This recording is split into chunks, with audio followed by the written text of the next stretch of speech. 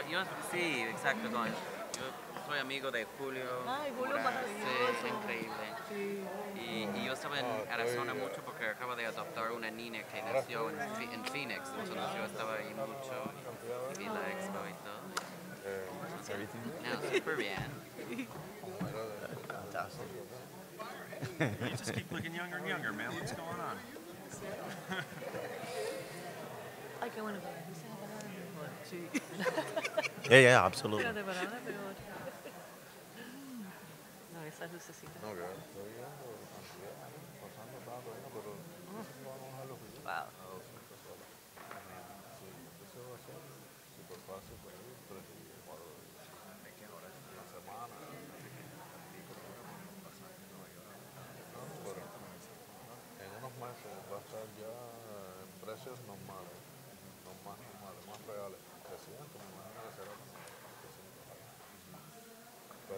Pero desde aquí va a ser hasta 200 dólares más o menos.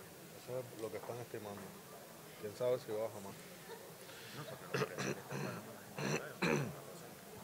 Yo he pagado hasta 600. Sí. No ahora mismo, ahora mismo, pero hace un tiempito de atrás. Oh, no. Hubiéramos, hubiéramos necesitado agua aquí, compadre. Oye, no, no hay forma de tener agua, agua para nosotros. ¿no? Se le fue. la- Se le fue ahí la... Sí, Eh, déjame... se le fue la.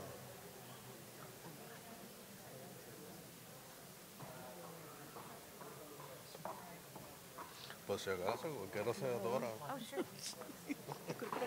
Cualquiera se aquí. Emilian, how you doing? Tienen que venir de público. ¿eh? I can't tell. Let me start talking. Right. No, I feel pretty good. Let's see, I'm gonna do my best with my English. Si no, tú sabes, breaking to... Aquí tengo más también. Yeah, yeah, yeah. Yes.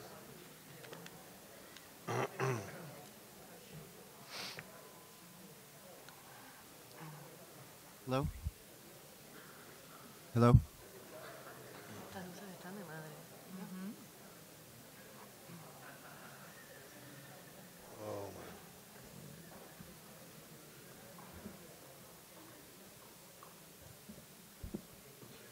Ya te acuerdas las ruinas, yo las tumbaron completas. Donde yo hice el dibujo.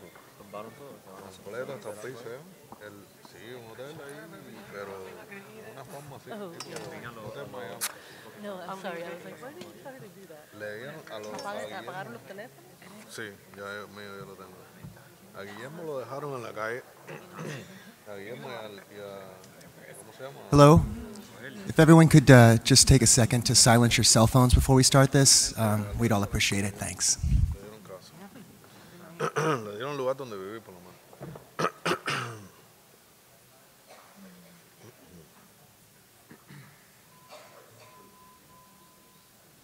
Pero van a hacer una cosa ah, tipo Miami, sí, un hotel con una forma redonda. una cosa extravagante. Sí, pero entonces...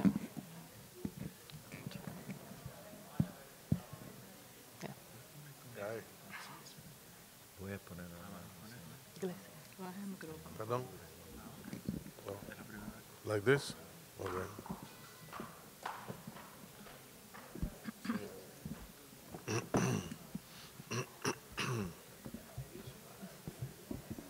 Súper incómodo.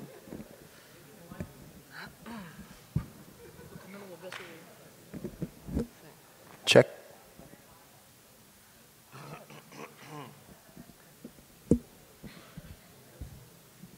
Okay. Like this? Like this? Check.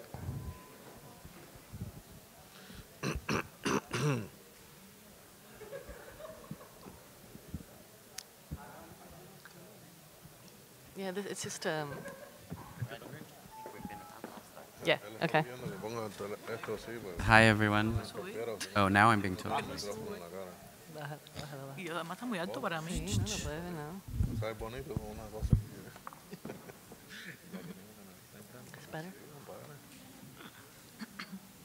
Hi, everyone. My name is Tobias Ostrander, and I'm the Chief Curator and Deputy Director for Curatorial Affairs here at PAMM. Uh, and I'm very excited to have you all here today um, for our Cuban Dialogue Symposium. Um, first, I wanted to, to thank our sponsors, particularly the generous support of the Related Group and Jorge Perez specifically. He, he has been involved in this project um, from early on in its development. Um, also, the, the Knight Foundation and the Joseph Carter Fund um, at the University of Miami have been crucial in the funding uh, of this project. Um, I mean, this project is, is very exciting for us. It, it, it really uh, matches our mission as an institution to create a space of critical dialogue about what makes Miami a unique place in the world, you know, and very much our mission is to engage with the most um, dynamic cultural producers, artists, curators, and thinkers in our city and beyond, and, and particularly at this pivotal moment in our relationships between the US and Cuba, these dialogues feel more pertinent and um, important uh, more than ever. Um, I, as the head of the curatorial team here, you know, this idea of dialogue runs through everything that we do. Um, particularly of, of, interest is, is thinking about our region and our relationship to the Caribbean. Um, a similar project, or along the same lines of, of um, creating networks and dialogues, um, was a project we recently did called Tilting Axis, which brought together 75 professionals working in the greater Caribbean region, um, curators, independent, uh, um, independent curators, institutional curators, um, you know, um, working throughout the, the Caribbean and the diaspora. And that happened this uh, past February. So these are some of the things we do um, to, to create this atmosphere of critical dialogue, of, of which Cuban um, dialogues is, is extremely important this project um, you know, continues these ideas of exchange and criticality. It's, it's a multi-year initiative which aims to facilitate um, intellectually engaging encounters between um, Cuban and Cuban American artists, as well as other cultural actors in both Miami and Havana.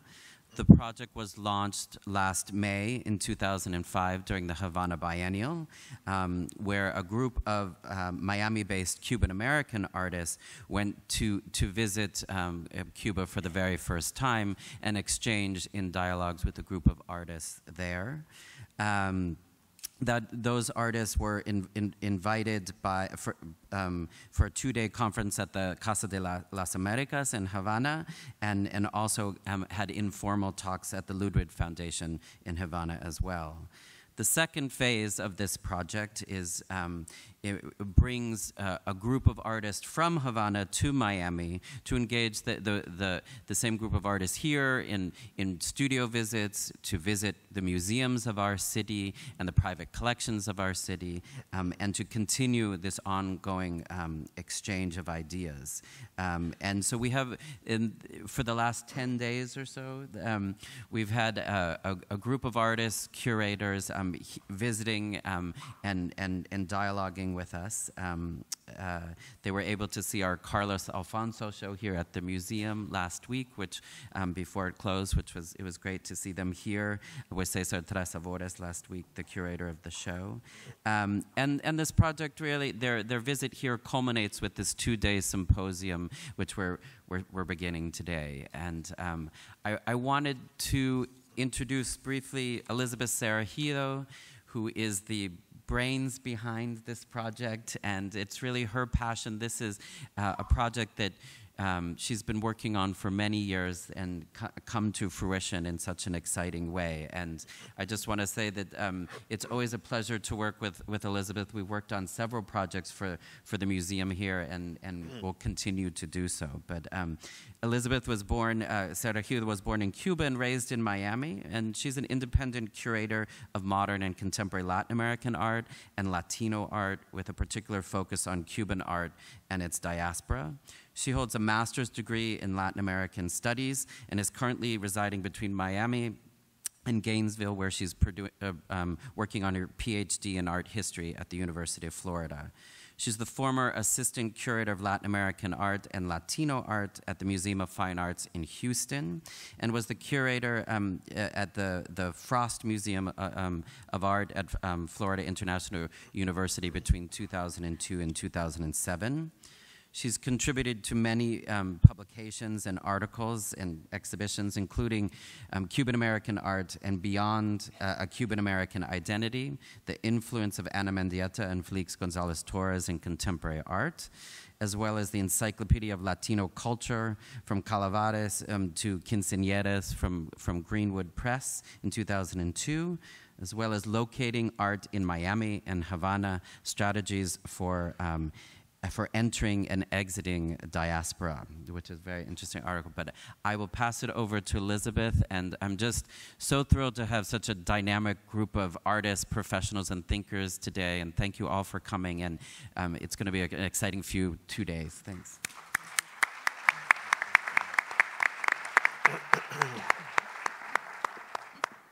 Thank you, Tobias, and uh, thank I want to thank the team um, and the staff at the Perez Art Museum um, for hosting this series of talks, of course, over the next two days. Um, it really is an honor to have this institution um, host this and, and, give us that uh, very legitimate platform uh, from which I hope we're going to generate some wonderful discussions over the next two days.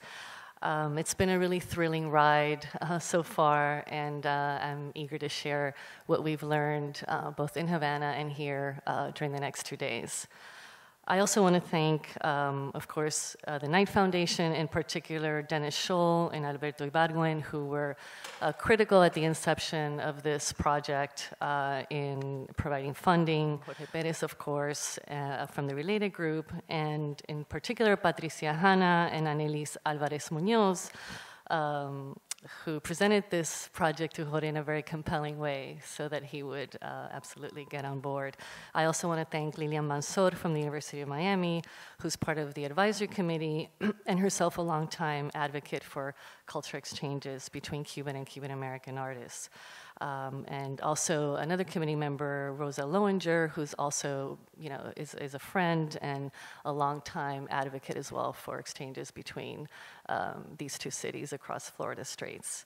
I, I especially want to thank, of course, the artists and curators, both from here and Havana, who accepted my invitation to participate in this exciting, uh, yet of course unpredictable journey, uh, which has been emotionally laden um, for both groups, in addition to it being very um, constructive in terms of uh, other related ideas, I mean, related to artistic practices. So before we start the panel, um, I want to give you a brief background about sort of the genesis of the project. It really began in a small room at the University of Havana more than a decade ago.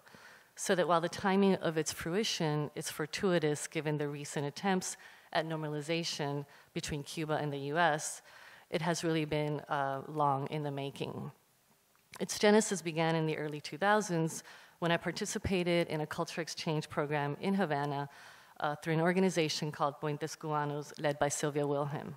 The program brought together a small group of Cuban and Cuban Americans from across various disciplines and included daily discussions around a series of issues related to cultural identity. What did it mean what did being Cuban mean for the Cubans? What did it mean for us, Cuban Americans? What did we share? How were we different? My takeaway from that experience was that uh, personal bonds transcend geographic confines and that ideologic and ideological divisions, and more importantly, that people to people encounters, no matter how overused that phrase might have become, do have a long lasting impact have the potential to be transformative and do change lives. This project and my commitment to materializing it is a testament to those beliefs. My numerous returns to the island since the early exchange, since that early exchange, have served the dual purpose of both deepening my own connection to the place where I was born and cultivating working and personal relationships that have made this project possible. Dialogues in Cuban art, then, is as much about art with a capital A as it is about dialogues as a strategy for connecting people. When the group of Cuban Americans visited Cuba for the first time last year, as part of this first phase of the program, they were engaging with their Cuban counterparts around issues related to artistic practice, but they were also doing it beyond their identity as artists. Conversely, the same is the case with the group of artists and curators from Cuba who have been visiting Miami for the past week. Their exchanges have been around artistic practice, but also on a personal, sort of people to people level, which has um, really generated surprising and very um, enriching conversations. As such, Dialogues in Cuban Art is conceived as a platform with the aim of changing the discourse on the personal and the art fronts from a narrative that has been framed in bifurcated terms Miami versus Havana, from Cuba versus outside Cuba, to one that is more nuanced and expansive in its thinking about cultural identity, diaspora, nation, and artistic production. Specific to the latter, it seeks to challenge that binary paradigm that has informed much of the existing scholarship about Cuban and Cuban American art as one or the other, but seldom focused on the intersection of the two. This perception of Cuban art as circumscribed by, as circumscribed by geography ignores the messier narratives of migration and contradictory realities of political and ideological, ideological histories of, of which we are all uh, shaped but more importantly, it undermines the transnational exchanges taking place between Cuban artists in and outside the island, specifically Miami and Havana, for some time now. The questions asked over a decade ago in that small room at the University of Havana continue to inform the fundamental concerns that this project aims to address, which will be the subject, of course, of the various panels throughout the next two days. What are the identitarian, cultural, political, social parameters that distinguish Cuban from Cuban American? How do generations of artists whose artistic careers were formed in Cuba but who have been living in the United States since the 1990s fit within these categories or alter them? To what extent do market forces contribute to the narrative on Cuban art in and outside the island? How does the continuous influx of new generations of artists in Miami, like Alexandre and Sandra, um, maintain a fluid who maintain a fluid relationship with their colleagues in Cuba alter or expand these established notions and narratives of exile, diaspora, and nationhood. And more to the point of today's panel, what do the increasing instances of collaborative projects among cultural actors here and there reveal shifting attitudes about place? Those in Miami toward Havana, and those in Havana toward Miami. So, to that end, I want to jump into the panel um, with the four artists who uh, are present here today. We're going to start with Sandra uh, Ramos. Each of, uh, before I, I, actually introduce each of the artists, I want to say that um, my inviting them, um, I was very much thinking, in fact, that uh, each of them have a very distinct relationship to that transnationalism that I mentioned. Um, Sandra Ramos, for example, who was born in Cuba, uh, and made her career there, um, who emerged in the 1990s, recently moved to Miami. Uh, but very much with one foot here and one foot in Havana. So um, some of the ideas that we want to explore are these, you know, these artists who now have these dual, um, you know, residencies, if you will, and what that reveals about shifting, you know, perceptions about both Miami and Havana. Um, Sandra lives and works, as I mentioned. She's um, Cuba's, one of Cuba's best known contemporary artists from the 90s generation. Through a compelling visual uh, dialogue, Ramos has gained an international reputation by expressing her personal relationship to Cuba's political and social realities. Uh, Ramos studied at the prestigious San Alejandro Art Academy and the Superior Institute of Art, ISA, both in Havana. She has exhibited extensively throughout Europe, the United States, and her work can be found in numerous permanent, prestigious permanent collections. Uh, she was recently um, part of the group of Cuban artists who, who were represented in the Venice Biennial. Uh, her work, of course, uh, has been in, in, in, the Havana Biennials, is part of PAMM's permanent collection, uh, the Ludwig Forum, um, Tampa, and, and many others. Um, our next artist who's going to speak today is Glexis Novoa, and to a certain extent, Glexis actually follows a, a kind of opposite trajectory from Sandra. He, um, of course, was born in Cuba and formed there, is part of the second half of the 80s generation, uh, but um, migrated here in the 90s with a lot of, of the, his fellow artists uh, from that generation. However, uh, Glexis in the last couple of years has returned and worked uh, very actively in Havana and, in fact, has a studio there.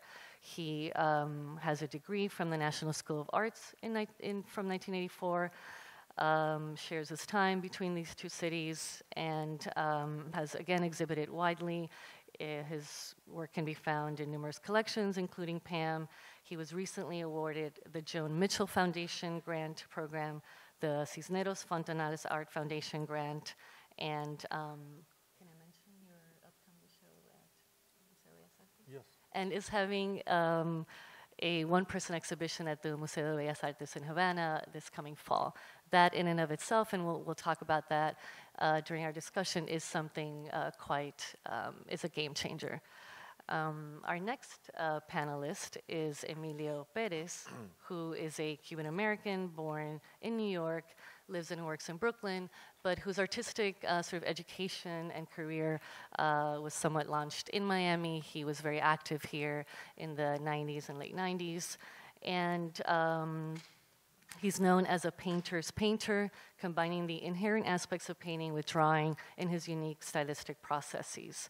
Uh, his work is a combination of the spontaneity and expresses, uh, expressiveness of painting purposefully in its loosest form and in the immediacy and graphic quality of drawing. His work can also be found in numerous collections here and abroad. And um, Emilio recently was in Havana last year during the uh, biennial. He was invited uh, by Juanito Delgado, who is the uh, the person who um, created the Detrás del Muro project, and we'll talk about that at, uh, in more detail later. But he uh, recently went back to actually work and exhibit in, in Havana in a very public uh, way, since this, these, this project involves uh, public artworks along a very visible um, avenue in, in Havana. So, um, our last um, distinguished panelist is Alexandre Arrechea, who also uh, emerged um, during the 1990s. He's a founding member of the Cuban collective uh, Los Carpinteros, and his work uh, employs visual metaphors for ongoing social themes of in- inequality, cultural disenfranchisement, and I've lost my place here, and the disputed position of art in a global media driven society. He uh, is, uh, has participated in numerous exhibitions. Again, um, his collection can be found in, in many prestigious museums. And what's interesting about Alex is that he uh, is also very much based in Havana, uh, but also has lived quite some time in Spain, then in New York, and now recently uh, moved to Miami, but is kind of still in transition. So, as you can see, these artists all have a very distinct relationship to the issues that we are going to talk about today. Um, I will now turn um, the mic to Sandra. They're each going to give us a few minutes of um, their work, you know, a presentation about their artistic practice, in some cases, specific work that has been produced either in Miami, keeping this relationship with Miami Havana in mind, or vice versa. Um, but you'll get a sense of their work, and, and hopefully, uh, the idea is then to provide, uh, give enough time for a conversation amongst yourselves and, of course, with the public. Well, uh, thank you so, uh, so much to all of you for being here today, and thank you to the Cuban artists are, that are participating in this project uh, from here and from uh, uh, La Havana. And of course, thank you to the uh, Perez Art Museum who hosts this project and Elizabeth Cerejido for inviting me to participate. I think it's very significant how this event will contribute to a better understanding and interrelation between artists and art producer uh, within uh, and, and, outside the island, and in, in its connection with international art context. I will start with a brief introduction to my work, and I will develop to the discussion to the new challenges, pros and cons, and the circumstance of being producing work between Miami and Havana for the last five years. First, I want to point that my career as an artist started by the year 1988 when I uh, was, uh, I made a series of etchings related to the apartheid between Cuban population and tourism. My work, because of this timeline and its critical approach to Cuban social realities, has been inserted by the critics into the entitled 90th generation, who were a group of artists that emerged in Cuba in the difficult condition of the crisis of the special period after the diaspora of a big part of the artistic community that preceded us. Perhaps because of this challenge,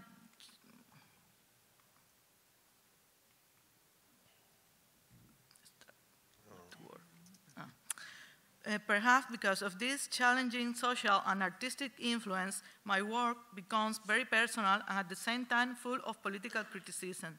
Somehow, making art begins to work for me as an, a cathartic exercise, constantly interrelate with my life and learning experience and the things I hate, I love, and I am interested. For me, art production and consumption is fundamentally a very special form of knowledge and approach to the contradiction of human existence because art gives voice to experience, perceptions, and feelings that cannot be expressed otherwise. My work is a result of the influence and assimilation of an artistic, cultural, and historic shared background based on Cuban sociopolitical context, but overpacing it to issues that involve human, humanity as a whole. One of these subjects, of course, is migration. This installation, Migration, that was, uh, I, realized, I made in 1994 and was exhibited in the Havana Biennial at that uh, moment and with a big, uh, after what, what, a big crisis of the Cuban rafter uh, happened in Cuba. The installation consists of 10 old suitcases painted inside. They were a collection of the experience, dreams, hopes, and disappointment of the Cuban exodus, which was willing to die crossing the uh, Strait of Florida in the dream of reaching the coast of America and a land of uh, future promises. For me, communication is a main goal. That is why usually my artistic language is very clear, narrative or participatory. With reference to prints and graphic aesthetics, I am interested in connecting with the general public and the artistic, political, and social contemporary uh, context worldwide and try to establish through my art a thoughtful trace, a historic documentation that could be helpful for people on the future to understand our, our world and make it better. In my work are many references to historical figures, books, and illustration. I select and recycling characters and stories with moral value as Alice in Wonderland, Pinocchio, among others, uh, and introducing them in the context of my work. Some aspects Uh, are also based in the current effect of the crisis of utopia. Utopias were a strongly in, ingrained tendency in the intellectual Western system during the, 20th, the early 20th century. These principles become the base of education and propaganda in socialist and post-revolutionary systems, while they contemplate the possibility of a strictly explaining and organized world starting from an optimistic, idealistic, and impossible perception of the reality the idea of the end of the utopia is present in my art as a feeling of frustration that is symbolized with the image of the chick break of the society. The End of Innocence is a etching from 1996 was part of the seven pieces. Those engravings are commentaries about the introduction of the dollar in Cuban economy in 1994, when the abandonment of the Soviet Union as Cuban patron provoked the most critical economical situation of, the, of its old history. The prints show satiric image related to tourism, the greed for money, prostitution, and the repetition of the historical cycles of dependence, dependence and colonization. Uh, we need to know that communication between Cuban and foreign was penalized from 1960 to 1994. And in 2008, Cubans were allowed for the first time to stay in the same hotels that tourists. Machinery to drown sorrow is Eh, eh, video installation uh, that shows another characteristic event of the Cuban society. Is, that is the use of alcohol and music as evasion element of the, for Cuban people of facing a, hard, a hard daily life. In this case, beer and sea were a symbol of the spiritual or physical escape in search of another reality. The installation functioned also as a participative performance while the spectators were drinking the alcohol, transforming into sea by the use of a video image and a mirror structure inside the container. Electrodailygraph was a project uh, that tried to establish a diagnosis of the heart of the Cuban society by identifying the most neuralgic real problems in the daily life in Cuba money, elderly, isolation, transportation, defense, housing, etc. represented in eight videos of 30 seconds each that run in. I don't know. That run indis indistinctly according to the age, race, sex, and sex of the spectators. A hospital room was displayed in the center, uh, in the center a stretcher will be, will, was located with an equipment of making electrocardiograph uh, in a computer uh, screen. So the piece uh, were a kind of uh, electrocardiograph of the society.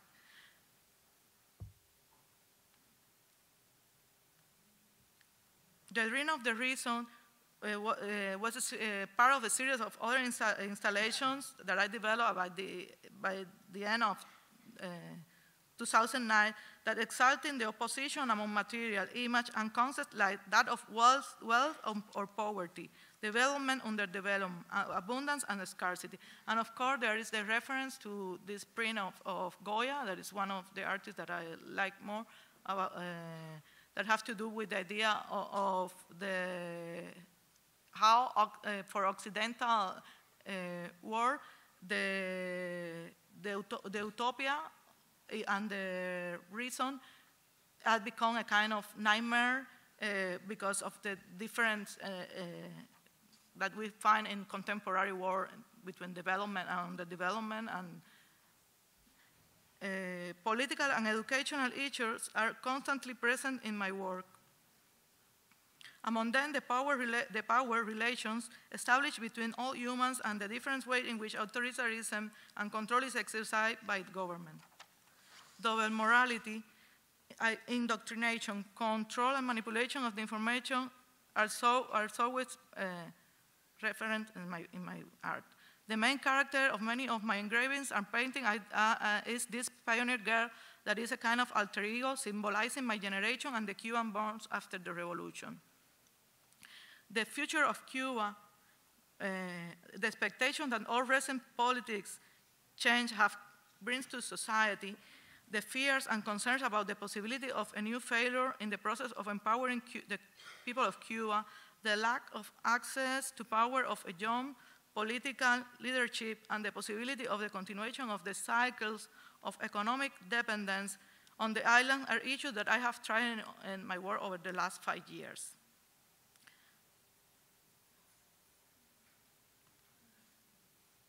As an artist who grew into Cuban uh, revolution, revolution, emigration, and iso- isolation is an obvious subject of concern represented in my work.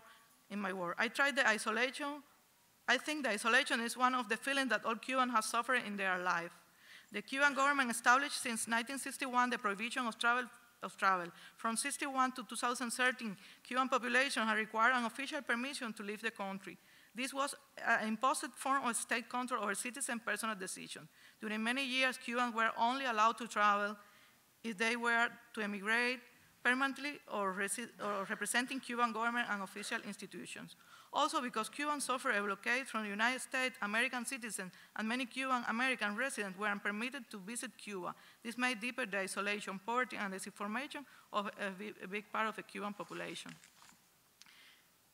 Even when recently the laws that control Cuban travels are relaxed, yet for many Cubans it's impossible to get visa or the money necessary to travel. And when they get it, they usually emigrate. Now we have the crisis in Central America and the arriving of more rafters to United States coast than in previous years. For all this, many Cubans have the feeling of being trapped into a political, economical, social, and geographical ci- circumstance impossible to overcome that inspire, inspire many of my works.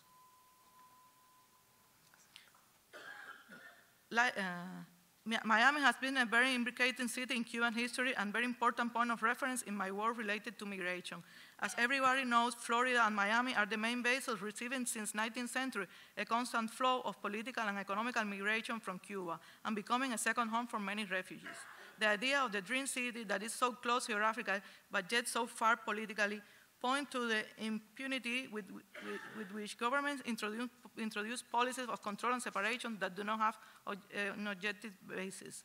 For me personally, Miami has been a hospitable city that where my work has always been well received and promoted since I was involved with Galeria Nina Menocal in art fairs as art in America and in Miami in the 90s.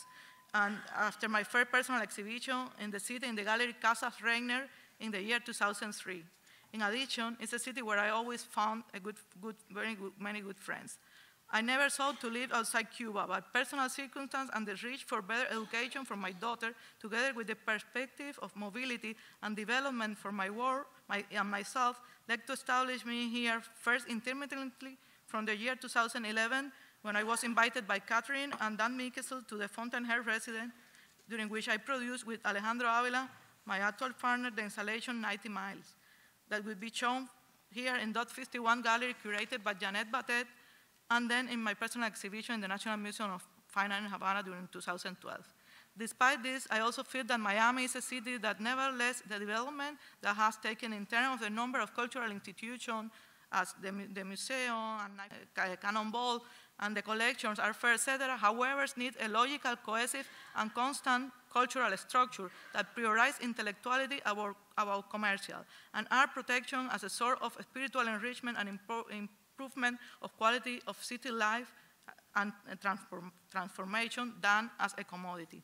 The ability to travel and live in the United States and, of course, learn more about the country, its cultural and, and its culture and art, their strength and weakness, is infinity possibility for development and also its contradiction enriched definitely my life experience and perception of contemporary world. Recently, I said my work focuses on the appropriation, learning, and reinterpretation of this new context. In some mm-hmm. cases, even starting from the naive and astonished case of that pioneer girl that tried to snatch a moment of psychological perception and translate it into image. On that purpose, I use mem memory, memory, personal memory documented through the video, photography, as well as the symbolic elements as bridge, passport, identity card, monuments, and landmarks. In recent works, I developed an overlay, diluted, an exaggerated view with reference to American policies, elections, campaigns, lottery, uh, the violent use of weapons, and the indecipherable excess of information and, consumer, and consumerism as element critics in the representation of the entropic tendencies on contemporary life, in, in contemporary life. In other space, Michel Foucault described heterotopia as an alternative to this crisis of values. We are in the epoch of simultaneity. We are in the epoch of juxtaposition, the epoch of the near and the far, side by side of the dispersed. We are in a moment, I believe, when our experience of the world is less than of a, lo a long life development through time that, of the, that of the network that connect points and intersect with, all, with its own skin. Meanwhile, art in its dynamic transformation and redefinition of reality perception can be one of these contemporary alternatives or heterotopic space, a place to be comfortable and take air to start dreaming about new utopies. utopies. Thank you.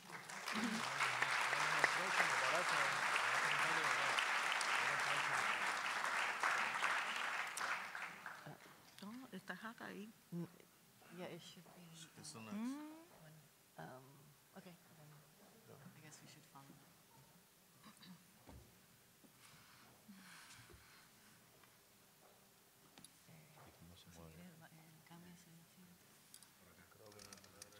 Aquí. Lexi, cámbiate de asiento entonces. ¿Perdón? Cámbiate de asiento entonces. ¿Lo va a apuntar? Que me cambie de asiento. Ahí pone.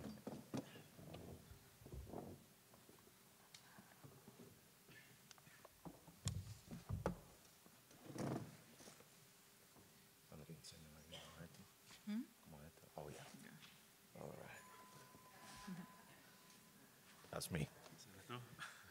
Is it working? Okay. Well, I was prepared for to be the fourth one, but then I'm suddenly the second one. Anyway, thank you all for coming today. Uh, it is a pleasure for me. I feel blessed to be here today. And to explain a little bit about my work, I need to give you a little bit of context. I think it's important, especially uh, since I have been um, involved in so many different projects that are obviously the, the base for who I am today. Uh, I have to start first mentioning uh, the group of Los Carpinteros, which I was part of uh, for 12 years of my life. And it, it has been a very uh, important moment uh, in my art career. And secondly, I have to mention one uh, experience that I had in 1990, uh, led by my professor and colleague, Rene Francisco Rodriguez, uh, when we uh, participated in the project La Casa Nacional, the National House, back in 1990. Uh, I have to mention this second um, experience because for me, it's a fundamental base of uh, my career in general, especially because I was uh, at the time involved in, in knowing that art is more than what we, or at least that I knew at the time, and involve um, uh, a complicity. It is also a moment when I learned that uh, art is about a confrontation. Specifically, I have to say that because uh, at that time, when Rene took us to this uh, national house in, in Old Havana, the idea was specifically uh, to interact with the, uh, the neighbors of this building where we were working with them. The idea initially was uh, to supply them with a few things that they need, and obviously at the beginning they were asking for things that they really need, like a toilet or a, a refrigerator or things like that. Obviously things that we were not able to afford. Instead, we were able to afford things like painting their walls, uh, providing a cabinet for keeping their food, things like that. And for me, obviously, that first experience uh, marked a, a, a, very definitive moment in who I am today, especially because when you understand that art is about uh, that interaction and that confrontation and to understand uh, uh, a specific context as a set of different kind of rules and how to evolve from there. At the time, uh, I remember that Rene introduced us to the philosopher Luigi Pareyson, who uh, talks about the theory of, of, formation, la teoría de la formatividad, which I think is, is this moment in which um, uh, you understand that obviously art is not a set of rules that are fixed, but instead of a set of rules that are about to evolve. And since I uh, understood that since the beginning, and later with Los Carpinteros, I tried to expand that idea, obviously, uh, especially challenging the notion of authorship, uh, and now talking about uh, three voices as one. Uh, then, after obviously 13 years or 12 years of working uh, with Los Carpinteros, there is a moment in which I want to continue expanding that notion of what is to work in different contexts, of what is to uh, challenge a different uh, moment uh, and in this case, obviously, you start dealing with galleries, museums, uh, you know, public spaces. And for me, uh, uh, uh, once that I departed from Los Carpinteros, I wanted to address issues that come from that first moment with Rene Francisco, and specifically the idea of the social sculpture that is uh, uh, something that I would like to start with. that is my first work after I left Los Carpinteros.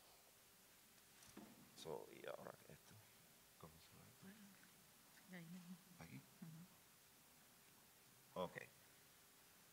So Sweat, which is this first uh, project that I uh, that opens my uh, career as a solo artist. Uh, my intention was to involve uh, uh, several elements that conform this specific context. My idea, to, to make it briefly, because I only have 15 minutes and I have a bunch of slides here to show you, and I want to go over a little bit, some of them more profoundly, some of them more slightly. But anyway, my idea at the moment was to uh, put in confrontation three elements that for me were uh, determinant for uh, to understand a specific context. In this case, I said, uh, or I went to this basketball court in, in, in, in Vedado, where I invited two teams of basketball, you know, from the neighborhoods, uh, to, to play. Uh, after that, the reward will be a bo- I mean, a, a, a, can, I mean, a box of a can of beer, which everybody will be accepting after being sweating for a while. And um, the idea was to, uh, to put these two teams to confront. And while they were playing, I was filming what was happening at the basketball uh, board of, of, uh, of the court. And um, then I edited all that uh, uh, film, which only represent the, the ball getting into the, the hoops. I mean, uh, barely you can see it here because this is the dark, I mean, dark and the photo doesn't explain that well. I have other photos, but you know, it will be a, a mess to explain all that here. But anyway, my idea at the moment was uh, to show that game using obviously the sound, the voices, the screaming of the, of the, of the young guys playing basketball, and to project this image while, while I invite the regular crowd of, of the art uh, to, pres- uh, to witness this, this game. Obviously, when you arrive to the basketball court, you see or you hear uh, players playing, you know, people screaming, and the ball getting into the hoop. But you don't see the, the players. The players are there too, but they are now the public. And obviously, the public is continue being the public. And then I invite, obviously, institutions, our institution, to also be part of this game. The idea fundamentally was to be uh, to witness a game that you barely can change because the result is already set, you know. So this is uh, the for me what is important about this specific project is to introduce my uh, uh my my new points of view toward the idea of this social sculpture inspired by Rene Francisco and obviously by Joseph Beuys. Then, uh, secondly, uh, since I more and more get involved with the idea how uh, context they variate and how to, uh, you know, how to deal with this new context. Uh, it was for me important to address the issues of surveillance. And definitely surveillance is, some, is, a, is an issue, it's a very old issue, but in Cuba we all know how surveillance was uh, working, you know, was the neighbor who was watching you all the time. But here, obviously, I have this element of the camera that is something very, is more commonly understood by, the, by everybody, that for me worked very well. And in this case, I uh, built this piece, which is the Garden of Mistrust. It was a very difficult time. I wasn't able to come to the States, and I have for the first time to produce my first work from afar, meaning that I have to trust people, especially in Los Angeles, with the help of Jose Raul Alonso, specifically from Miami, very good, very good dear old friend, who helped to uh, produce this uh, specific work. Uh, the Garden of Mistrust, uh, you know, uh, I, I, have to work this piece for the first time from afar, like I just said, but also it, it somehow it, it, it becomes part of the work as well because for me the idea was to control this tree from afar. Obviously, without internet in Havana, I can do nothing. But I have to wait five years after uh, uh, to uh, really confront the piece and, and to see the, fifth, the piece for the first time and really start working on that piece the way I conceived the piece, the piece in the beginning. To continue uh, with our work, this perpetual free entrance that was produced in 2006 in Spain, for me is one of those uh, uh, works that are very important and, start to define a, a, very important moment in my career, especially because for the first time I tried to involve the context of the museum uh, and be part of my, my work. In this case, I set uh, uh, several cameras in front of the entrance of the museum, and I was recording people entering to the museum for several days. After that period of time, I uh, edited that information and put it in these uh, uh, entrances or boxes of this sort of a stadium. The idea was obviously uh, uh, to contemplate all the people that was not possible, possibly able to see my work, to be part of the work, even if they don't visit my work.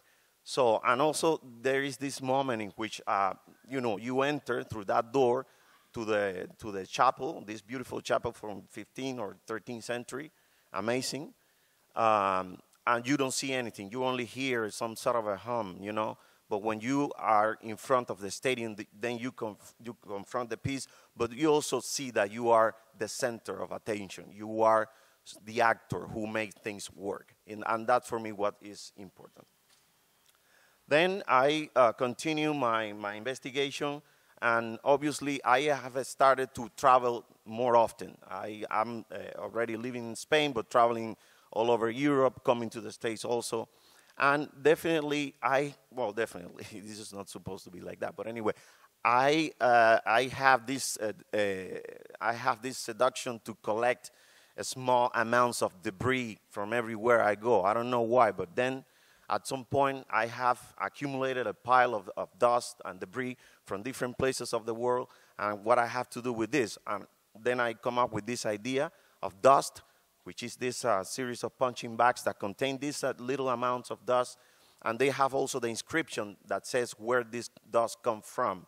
And for me, was important specifically this piece because you can understand all the, the, the, the, the places where I have been and what, why they are meaningful to me, and to build a context that is larger than what I have uh, conceived initially, now a context that is, is, is, is larger and bigger. And obviously, to, uh, to have access to, uh, to this uh, the debris of dust, you have to break the punching bags, obviously.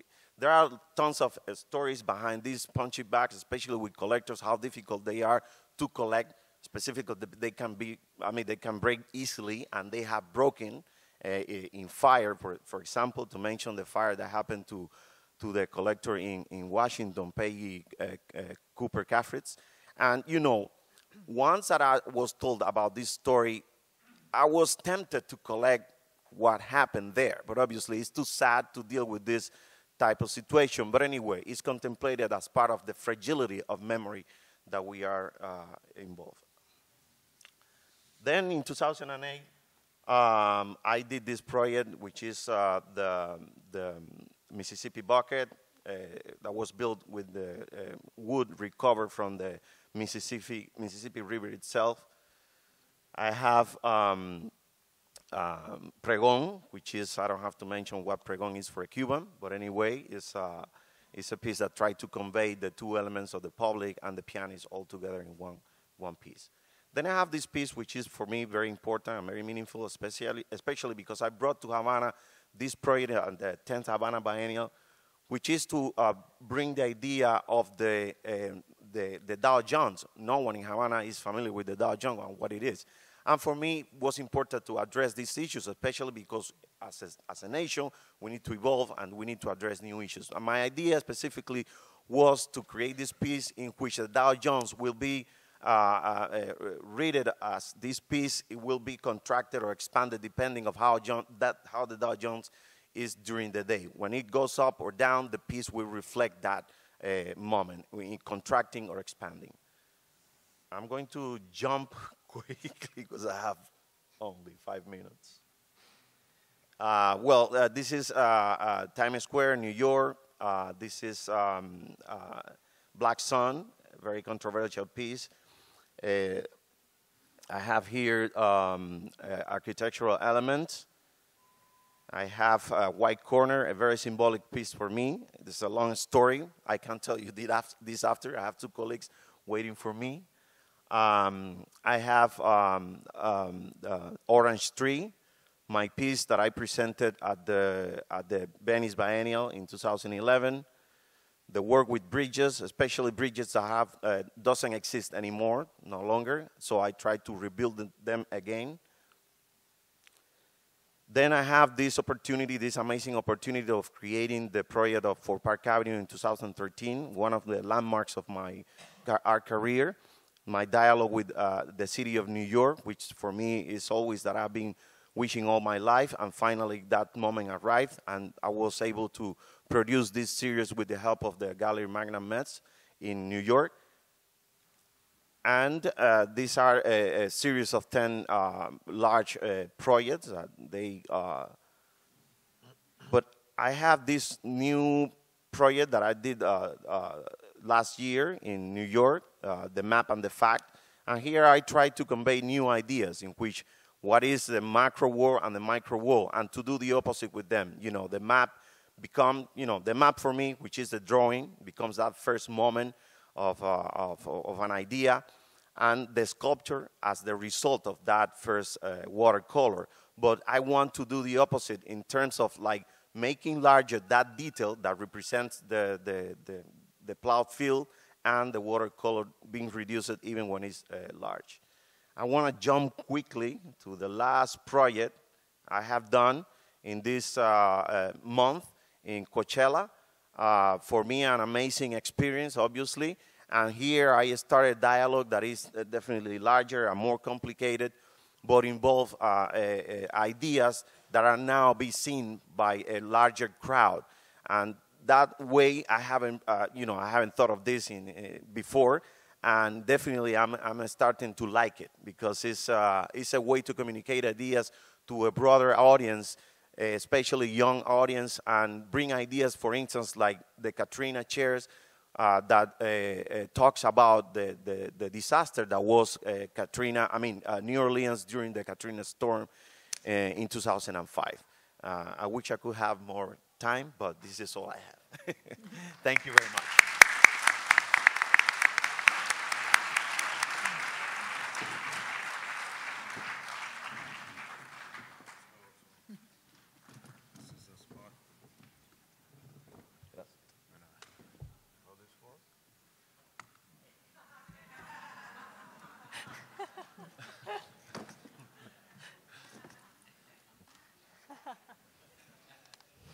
Yes, I know. Hello? Hello? Yeah, uh, it's like that. Um, I would like to appreciate and recognize the labor of Elizabeth Cerejido doing this. Um,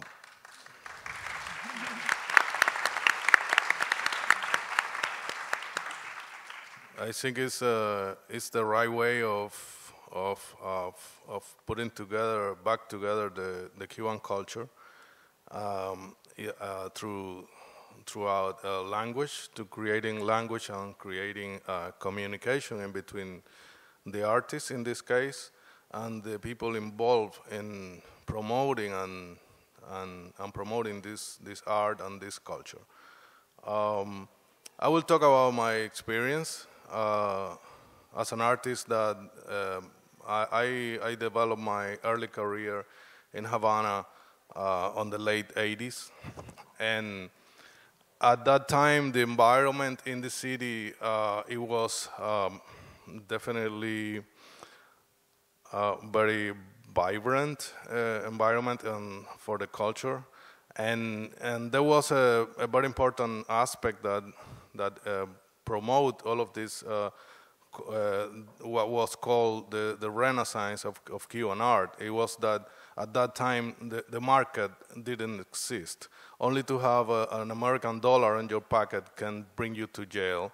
So there was no market at all. We basically was working uh, for just for love, uh, like the expression. We were making art just for love and that gives us a, a, very privileged uh, uh, environment for the artists who develop our careers or, or we have the opportunity to do art at that moment. And, and I would like to um, depart from this, uh, this very uh, controversial issue that is the politics and the Cuban government and the Cuban institutions. Uh, I think uh, we have a, a privileged environment. I would like to repeat that uh, during that time, but the, the time passed and all the, the different periods on the, on the in Cuban uh, politics uh, also affected the, the, the art and the, and the, and the, and the art uh, um, the art world in Cuba. Uh, we, many of us, need, uh, left and leave the country for different reasons, and that uh, created like a, a, vacuum uh, in the country, and we we left this vacuum, this empty space, and then the the the the, the powerful community of art of Cuban artists, uh, of course, replace that that that empty space that we left. Uh, in the country and, and continue uh, renovating this, uh, this uh, this culture, but we, but we were uh, automatically a culture uh, until basically today. Uh, we, we came to, I mean, in my case, I'm not gonna, I'm feeling like I'm talking like a, like a, like a official Cuban person because I'm talking in plural. Uh, I need to talk in um, personal. I left and, and, I, and I left and I, I, I start developing my career from zero in Miami, in this case in Miami, where nobody, nobody knew me in Miami. At the time I arrived here, I, I start here and I start, uh, um, I start um, becoming a part of the, of the new generation uh, and the people that was a lot younger than me. I, I was exhibiting with all of these people that was not as, uh, necessarily Cubans, uh, people that belong to the community and people that came from all over the world, um, American people, of course. And, and then I'm, I developed my work here, but my work has been in, ignored uh, in Cuba uh, absolutely, uh, since since I left, uh, uh, has been ignored by the institution, but it has been ignored also by curators. And it's not because they don't want to; it's because the the, the information didn't reach uh, the curator, didn't reach the people that that live inside the island, and also uh, many of us known, but many of us um, know how complicated is the situation in Cuba. When you live in Cuba, you need to, to, to step, every step you do, got to be very careful because many people are looking for you um, and you can be, if you support a fellow artist, for example, you could, you could get in trouble. So, you know, it's, it's like here that also happened, but beside that situation now I, I go back to Havana and I found so many of the, of the situation that I left in Cuba during the uh, late 80s, I, I, I think that I found some of these situations uh, that remain the same. Uh, of course, we all know we, we all need, we, we just need to uh, to read the the Washington Post or the New York Times to know all the situation in Cuba. There is nothing else to to add to that. But in the terms of of the culture, of the Cuban culture and our interaction as artists, um, for me, uh, I'm, I'm, discovering a new country. Uh, that's why I'm showing you pictures of my last visit in Cuba. Uh, last visit to Cuba, I, I came uh, yesterday from Havana just for this uh, talk. And I discovered a new country, a new country where I found people uh, that are compromised with the culture and people that are compromised with, with, with the establishment, with the government, and with the politics of the government. And it's uh, what I, uh, this, this is working. This, I don't know what happened. I'm sorry. I don't know what happened with the, the slideshow. Um, it's not working well. No, it's the right image, but um, this is not working well. Um, so it's very interesting to me to go back to, to the country. I'm developing a, a, different body of work, body of work in Havana now. I'm I'm continuing the the the period of of work that I that I left interrupted by by immigration, and I continue. Uh, i went back to painting, and and I also developing work that I've been uh, developing in Miami. Um, I think uh, in Cuba there are so many things that needs to be changed uh, in terms of the culture and in terms of the politics as well. But there are so many things that we don't need to change, that uh, too many things that are working properly. And, and that's the thing that we, I think we, we should maintain as an artist, and, and we should work in this type of uh, communication that we have in here is, is something that we lost in the Cuban culture. When I arrived to Miami, I discovered so many artists like Luis Cruz Azaceta that it was forbidden uh, in the country. And uh, an artist like this, uh, such a, a, huge artist that is so important for the Cuban culture, you, you don't have any information in Havana uh, and then I, I met artists like Emilio Perez, like belong to, to the Cuban culture in, in this country. Uh, I mean, he represents the Cuban culture in, in this country, in this city. And then I get involved in this, uh, uh in this new context. And that's what is interesting today to go back to Cuba and discover so many uh, Cuban artists, young Cuban artists, and and, and rediscover some of the artists that I know from my previous experience, like, like Sandra Ramos or Arrechea, for example, that I know them just like uh, one more than the other, but now I have the opportunity just to, to share spaces and to get more uh, inform and update my my information about about the work. Uh, I think uh, it's it's a it's an amazing uh, context what is happening in Cuba. Everybody is uh, so attracted to. I mean, I mean, I'm talking everybody. The people who visit Cuba is very. People are very attractive to to Cuba to the country, but most of the people are needs to learn more about the people, especially the people that that go uh, attracted by the culture, by the art.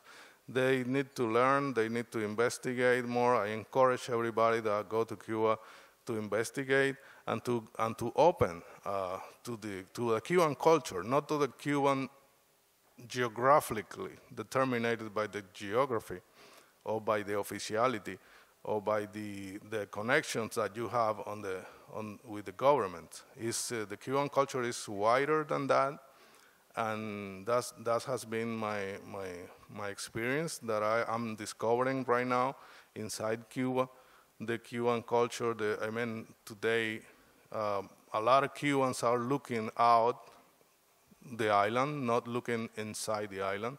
So many people are craving for experience with foreign people to people that brings different uh, experiences and, and has different dialogues.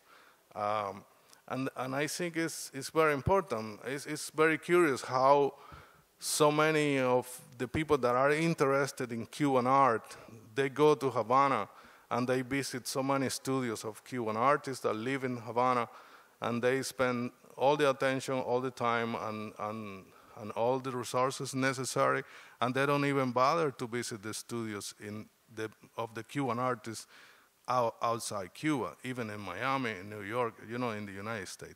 This is something that is, is, is something that is very is very um, interesting to me.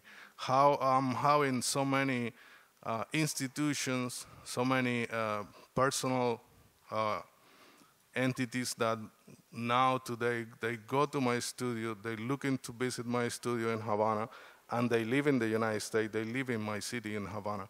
They want to see me in Havana. They don't want to see me here. I don't know why. My studio in Havana is little, and it's, I, I, it's the half of the house of my mother. It's not my studio, it's not my property, but people want to go there, and I already have like buses with 20 people visiting my studio, and I have to look exactly which people is coming because sometimes I'm wasting my time because they are tourists and they take pictures and they ask me for catalogs, and I give away my catalogs for the people that I would really care about my work. So it's, it's very interesting, and, and that, that is, is, is something that tells you that it's not about the culture, it's not about the art, it's not about the quality, it's not about ideas, it's about something that you need to take from this place, something similar that kind of a, people are looking kind of a, um, um, um, a trophy or some kind of a, uh, um, I don't know, like a postcard.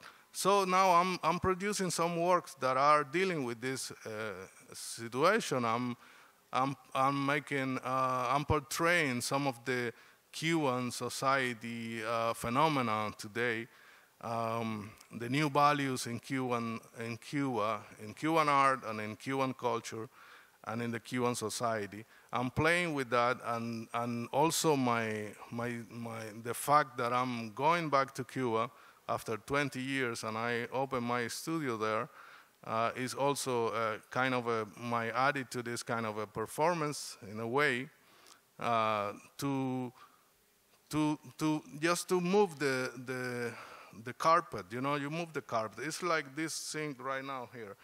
Who is living where, in which country? Sandra, Glexis, Arrechea, who is Cuban? Emilio is Cuban, Sandra is more Cuban than I. We don't know, but we, we don't really know, but we belong to the same culture, and I think that uh, that's what mm, we need to, to keep in mind when we look the Cuban art. Is it is not because it, it's happened to me. I discovered the Cuban art here. So many exile artists that I have been dying in this in this city with an amazing work, with, with such a, an, an amazing career on such a, uh, uh, I mean, uh, like a, like like like like like like uh, they never they never left their culture behind, and that those artists die under-recognized, they die poor, and they die without any attention, and and they, you know, it's, it's something that is sad. It's not dramatic, but I mean, it's not to use this dramatism, but it's, it's something real. It's what I wanted to to to mention. Uh, so my plans uh, for the future, um, I'm continuing. I'm continuing being an, an artist based in Miami. Uh, I, I, have so many plans in Cuba to continue working, exhibiting, doing projects, and so it's, it's the natural way. It's the way it should be.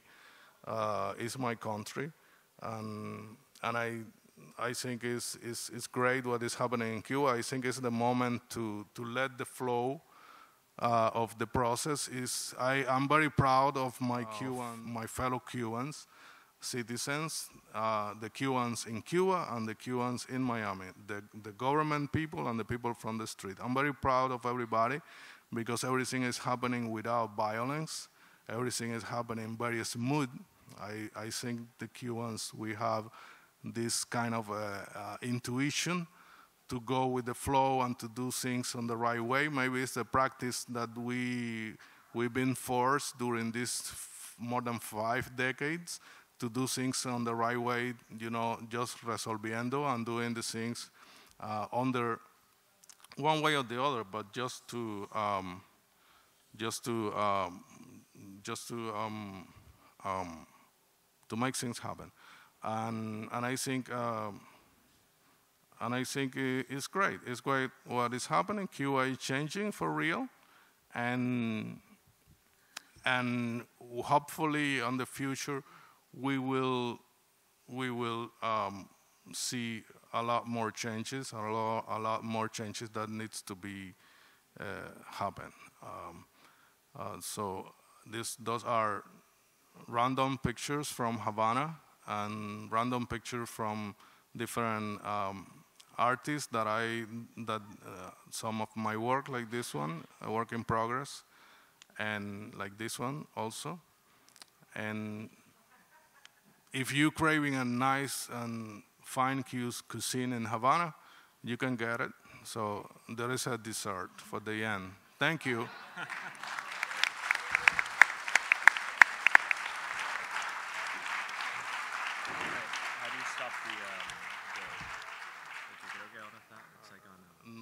think it's mine because mine was con una, el mío tenía una transición. Ah, okay. Okay, no, no, no. It's just that he was on a slideshow.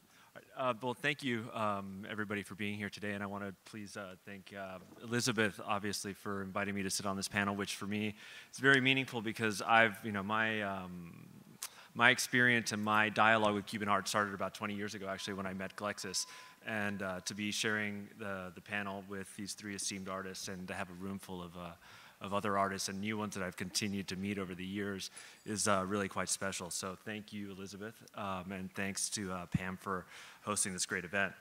Um, so I'm mainly, you know, coming from a different perspective um, as somebody who was born here in the United States. I'm going to talk more about my, the first project that I was able to sort of conceive and, and, and create for Cuba. Um, and it happened during the second edition of the Detrás del Muro exhibition that was organized by Juanito uh, Delgado, who, uh, by the way, did an amazing job in terms of organizing such uh, a large site-specific exhibition on one of Havana's, you know, most storied and, and important avenues, the Malecón. And I have to say that when he first um, when he first got in touch with me, we started talking about this um, probably maybe two years beforehand, even before they'd made any announcements about um, about the change of policy uh, with the U.S. and Cuba, um, I was thinking to myself, I was like, how's this guy going to get this thing done? I mean, it's really daunting just to get anything done in Cuba. And just a, a, quick note: when I got to when I got to Havana and I landed, and went to Juanito's house right away, and I saw him with two phones, one under each ear, delegating, I knew that the thing was going to get done and it was going to be a great success. So um, my thanks definitely go out to him to inviting me and giving me that opportunity to, um, to create a piece specifically for the Malecon, which is such a such an important place and made a huge impression on me on my first trip to, to Cuba in 2001, which I'll talk a little bit more uh, later on in the presentation. Um, but of course, doing anything for as an artist working in New York and being asked to create a piece like this in Cuba was a very personal thing. You know, I really had to think about the idea of like what it meant to me to create a piece that was going to be um, installed in what I see uh, as almost Havana's living room. You know, I mean, at night, as for, for those of you who've been to Havana or grew up there, you know that the Malecon is this incredible place where you know, people just go there to hang out, to stroll, to watch the sun go down, to drink, play music, and it's also symbolically this um, this, um, this barrier, this wall that separates uh, Cuba and the United States. And so I ask myself sometimes, I wonder whether or not I would have been as open to doing this project had the venue uh, given to me been, been different. Um, but there was something really special about that place because it made such a huge impression on me when I first visited. And then also to have a piece that was looking out over the ocean looking in this direction was incredibly meaningful to me because as um, as a Cuban American, you know, you grow, or in my experience, which I don't think it's unique at all uh, for many people here, is that you grow up, you know, feeling Cuban, being Cuban, you know, through the lens of, of the United States, but you grow up with this sort of imagined history of what Cuba really is. And um, because it exists really in the stories of your parents um, and your family and the, uh, the nostalgia that comes with those stories, the joy that comes with those stories, but then, of course, there's the, the sadness, the loss, the resentment. So it had always been this place that had fascinated me. And as somebody who grew up always on the water, it's a huge part of my life. I've spent my life, you know, sailing, fishing, surfing. It's, it's the place where I go to charge my batteries, to think, and really allow myself to sort of exist in the moment. Um, there were, I can't think of, I mean, there were so many times that I could remember being here in Miami as a kid at the beach, or even as an adult really, um, at the beach, looking out over the, looking out over the horizon and thinking about this place that's just right there, but just out of reach that has so much to do with, with who I am and, and, and my identity and, and this thing that, but still, of course, in, in my imagination. So when I had the opportunity to have a piece that not only looked out over the ocean, which for me is, is, is really my place, but now to be looking in the other direction was, the, was really the turning point and the reason why I wanted to make the, make the work. Um, the title of this piece was called, um, was called Un verso sencillo, uh, or simple verse, which is really a very slight variation or the singular version of the, of the last book written by Martí, uh, Versos Sencillos, which was a compilation of poems and written in, I believe it was 1891. Um, I, when asked to make a piece, you know, my, like Elizabeth mentioned before, I've always, um, I've always made work about making paintings. My work is about abstraction. It's about the process. It's about the language between the mark, the gestures of painting, the immediacy of making drawings. And um, so usually I write down titles on a piece of paper, and then as I finish paintings, I find titles that fit the paintings. Instead, in this one, I really needed to connect. I needed to connect the piece to Cuba, not just in the title, but also in the inspiration. Um, so. I, you know, I chose that title because that book was the last book written by Martí. It was written in New York City, or not in New York City, but it was written in New York. And Martí, like my parents, um, went to New York and settled in New York when he was exiled from Cuba and then later and, and, where I was born to. So I felt it was just the fitting thing. And the title itself, a, a, simple verse, you know, in a place that has so much, you know, that's so politically charged, it's so emotionally charged. You know, this was really for me just something very sincere and very honest and just a simple offering to, you know, this place that sort of created so much of uh, who I am. So the challenges, of course, um, for, doing a, to, for doing anything in Cuba are difficult. Logistics, of course, for one, um, were going to be difficult because I didn't know the materials that I needed to create a piece there, I would have had to have brought with me. So we had to, we went back and forth and finally decided that I would create the piece in my studio in New York, send it in pieces to Cuba, and then, um, and then install it there. Of course, we didn't know how we were going to get it there, and I waited for a very long time to start the piece because I didn't want to start this labor of love, you know, and then find out that it wasn't going to make it. Um, so I waited, and then basically I had about a month to make this 65 foot long painting, but at the same time, um, s- s- try to stay, um, you know, try to maintain the integrity of my work and my process. And so much about my process is about the spontaneity, it is about the intuition. So it wasn't something that I could make a drawing of and then recreate it and paint by numbers, because then really all that movement, all of that inspiration that I was trying to capture from the place and the history of the Malecon with its parades and carnivals would have disappeared. So I had to, you know, really look. Uh oh.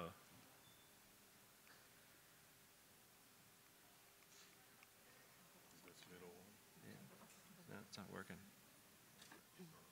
Oh, there we go. Um, so anyway, so this is the this was the location. But one of the things I wanted to do um, in terms of capturing and maintaining the integrity of my work was which one are you pressing?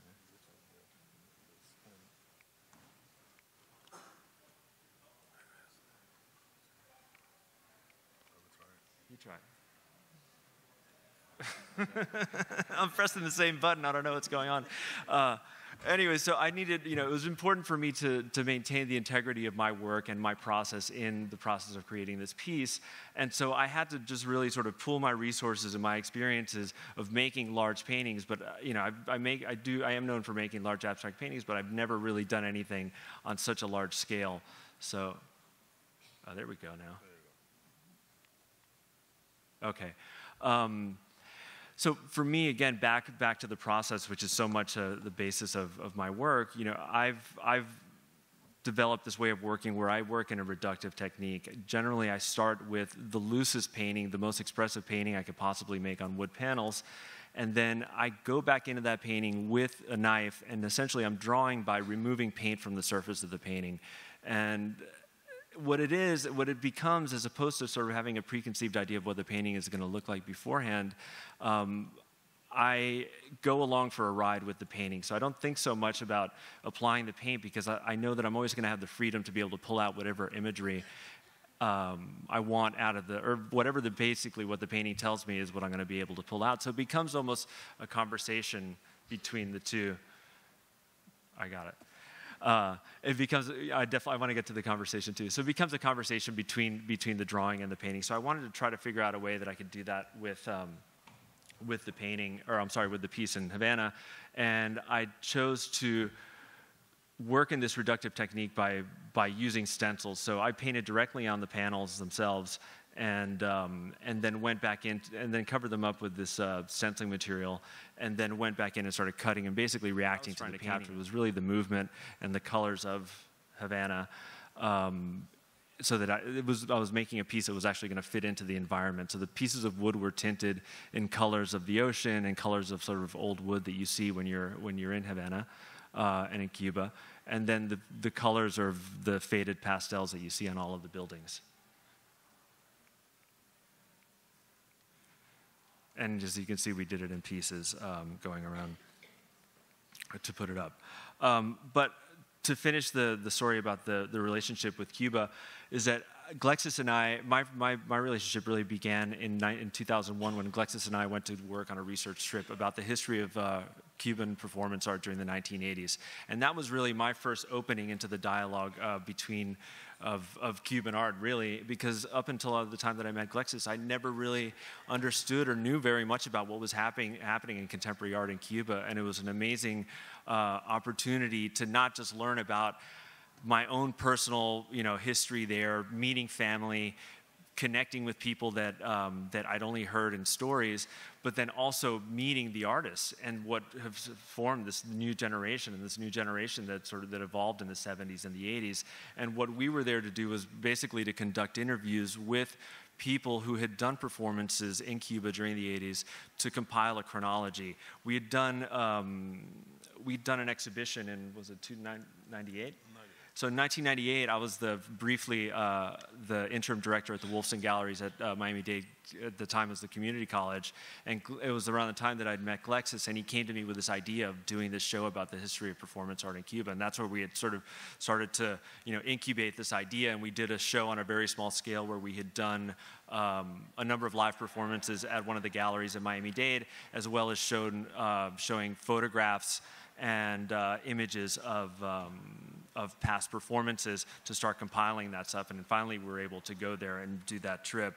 Um, and it's such a pleasure to be here. I feel like it's come around full circle because I'm sitting on this panel with, you know, surrounded by so many of the people that I've met on that trip and continue to meet over, that I've continued to meet over the last 20 years. And just to, to close with this, and this is on a, on a super personal note, you know, as a Cuban American, one of the things I think that connects you to Cuba really is really your family. Because if your family is not the one who's you know, sort of informing you and giving you all this information of what it, what you know what what this place is like, I would have no connection to this place. I would have no, you know, it wouldn't it wouldn't resonate with me.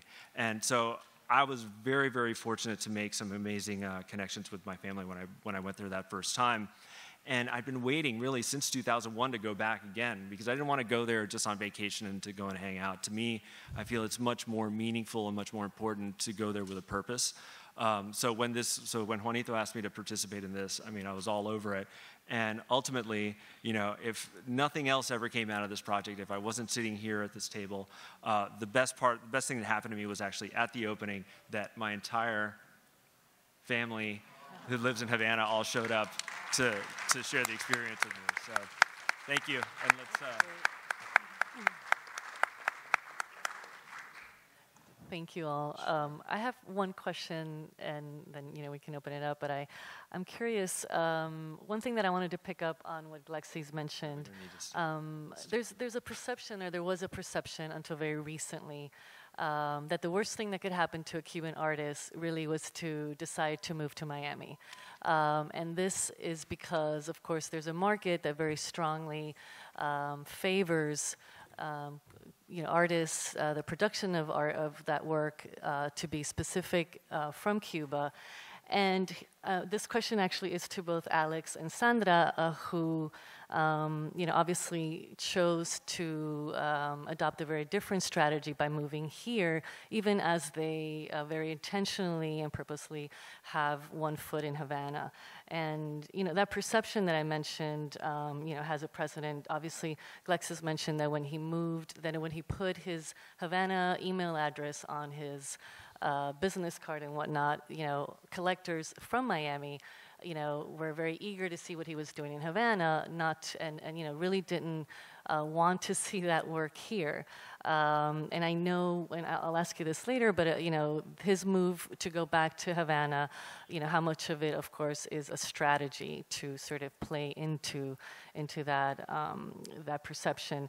Uh, in 2008, the Washington Post published uh, an article that listed the top five artists uh, worth investing in. One of them was Carlos Estévez, who at the time that the article came out was living in Miami. And in the article, he is mentioned, uh, he's quoted by saying that as soon as he moved to Miami, quote, you know, curators stopped calling.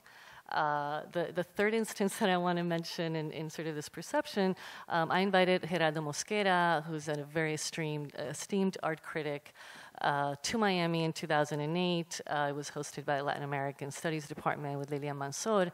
And there he, um, you know, in, in, obviously a broader uh, conversation, and I'm paraphrasing, but he did specifically say, I think, in response to a question about why he would not include artists, Cuban artists living in Miami, in his, you know, very um, well documented international collection, uh, exhibitions, and he basically said that Miami was a ghetto at that time. And, and you know, there, there was some. Um, you know, there, it was definitely used as a kind of tool to generate a, a, a very polemic discussion. But I think that um, what, what, I'm trying to point out here is that these three instances point to this idea that uh, Miami has a sort of peripheral, um, you know, uh, sort of place in this larger Cuban art narrative that we're trying to challenge here. But so my question to Alex and to Sandra is, um, you know, what are were those perceptions, you know, already sort of ingrained in, in your way, in your thinking about Miami, and why why change that? I mean, why move to Miami? What is the uh, at this point what is beneficial to you as an artist who are both very well established uh, artist and known for being very much rooted in Havana? That is a very complicated question. I know. especially because the reason that moves you, I mean, makes you to to shift and to move to a place. In my personal case, are driven by different rules. I mean, um, I've been asked that same question when I was living in Spain, and uh, obviously, then when I was living in New York, I continue exchange between New York and Miami. But definitely, uh, uh, to be here uh, today is to recognize that there is a context that is definitely changing, and it's changing for good. Mm-hmm. And for me, especially, um, I consider my, myself a traveler, someone who is very curious about the different contexts. I approach it to Madrid in that same way, the same way I did it in New York. Fortunately, I did a big project in New York that makes me part of that city somehow. And I'm hoping to somehow to interact with Miami in that same way. Uh, at the moment, I don't have a studio here. I continue with my studio in New York, which I want to keep, obviously. And um, but definitely, this is a context that I mean, and the fact that we are all together today makes sense all of what is happening. You know, I believe that uh, this is a city that have a lot to say, and I don't consider myself a pioneer, obviously, on this matter, but uh, I I see it as a very potential city to develop what I do. Um, I don't know what else I can address to this, but. Well, uh, for me, the, the, experience to live in Miami has been uh, very interesting. Uh, as I, I said in my talk, I, I moved here mainly because personal uh, issues. I never think to mm. to live in Miami, but at the same time, uh, for me, it's a, a, city that functions very well because it's near to Havana. It's a city where I feel in family because many friends and, and because of the Cuban uh, community here. And at the same time, I, I, as I, I have been traveling to Miami since the beginning of 2000, and I, I think I, I noticed the change that in cultural, uh, Miami offers now mo much more possibilities. There are the museums, the, the, the collections. Uh, I, I, have my studio at, at the Fountainhead uh, Foundation. Still, I, I think that, that uh, there are things that lack in Miami. Uh, um, and fundamentally, I, I, I don't, I, I feel, because I, one of the reasons I moved to this foundation was the idea that we have, uh, they, have they have several studios there, almost 30 artists. I don't want to have my studio alone. I want to be part of a community and, and do things together. But that I have been there for three years, and I don't see that happening so often. We have like open studios sometimes, but not it's not working. Like, uh, I think in some way artists are very isolated, mm -hmm. or they do projects that not, don't communicate uh, between each others, and also that happened with the institutions. Uh, uh, it's like each one is uh, right. doing their own projects, and, and, and something happens that, that doesn't work together. But but I think there, it's normal because it's a, Miami is a very new city also. Uh, we think that the history of Miami is just yeah. uh, 100 years. And, and also because it's a, a city where people don't, uh, there are a lot of uh, pa uh, people passing through the mm -hmm, city. Mm -hmm. It's, they have these homes here, but they are not permanently. And that's in some way affect the Absolutely. way in which the city yeah, so, but I think for me it's great to be here, and it, and it gives me a lot of mobility in my project that I, that I that I'm doing in all United States. And for producing work, it's a special place because you can find anything, any material. And have you noticed a change from your collectors? Uh, any perception about? Yes, of. They, well, are they concerned that you're not? I agree with with Lexi that collectors like the allure of Havana, right. and they like to go there and, and buy, buy there more than than here. And I, and I also feel, for instance, what is happening to oh, that, that uh, this idea of that the, the galleries and artists go, uh, uh, going to a place, they change the, the place, and after that, they are uh, leave. Um, Yeah, there's no like sustituidos there are mhm, by the larger uh, development. The developments is, uh, I, I don't like that because in some way this uh, community that start to grow in a place is uh, fragmented. fragmented again. Um, Alexis, and- and just to sort of finish on this, and then we can open it up. But so, in your case, going back, um, I think you've specifically mentioned that it's it's a strategy. How much of it? Yes, you returning to Cuba to specifically to very intentionally work there. Um, you know, is is it a, opportunistic? Is it a strategy? Is it I think uh, we, as an artist, we we are all opportunistic. Um, I think this is very very clear. Um, but it's the way the way to maintain your principles and your integrity in your work is what save you uh, of this opportunism that we need to to implement in our practice. Uh, and but at the same time, I have a very real reasons to go back to Havana. My main reason is my family, and I realized that I was traveling so much to Havana, spending so much time in Havana, and I was only spending money there. So I need to do some profit of these visits uh, because it's like anywhere you go and you spend a lot of time, you need to, to realize how you how you make some money and how you make your how you put your brain to function. And uh, because I was exposed to so many uh, to so many experiences uh, on the on the everyday life and also uh, connecting to connecting back to the Cuban culture that is alive and very vibrant in the in the in the island. So I think it's oh yes, there is a, of course there is opportunistic. Um, uh, move and same thing that I learned here in this country. Um, I think we should probably open it up. I mean, I have other questions, but I'm sure maybe some of you are eager to ask them. Or maybe not. Oh. Oh, somebody.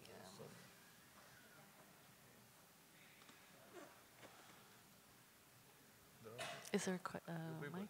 See? Yeah, but I don't. I think somebody needs to pass the mic. Oh, they need a microphone. Yeah, I'm waiting for a mic to be. This one, hello.